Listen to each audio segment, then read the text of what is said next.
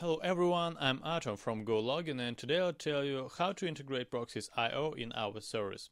Proxys.io is a proxy rental service with more than 10,000 IP addresses from 12 countries.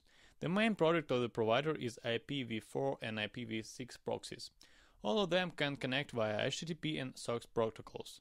The service also provides round-the-clock support and money back within 24 hours after purchase. All proxies are anonymous and logs aren't conducted. So how can you use these proxies in GoLogin? First, log into your account, sign in, then go to Buy tab. Here you can select proxies by location or by tasks. For example, we need proxy to work in Amazon. Service will open a suitable option. So now you need to select the amount of IP, the rental period, and the country of proxy, for example Poland. Next, select the payment method and pay for the proxy. They will appear in our account immediately. Go to account and open our order. So now we have to create a new profile in GoLogin.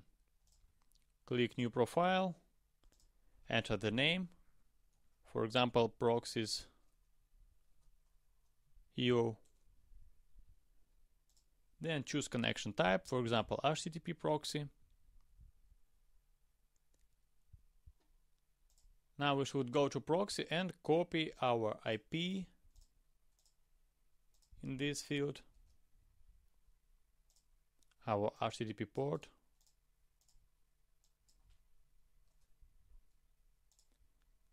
Then login.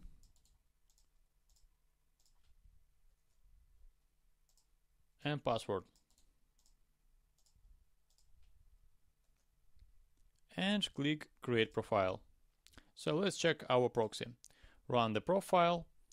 Now the start page with the data of our connection will open.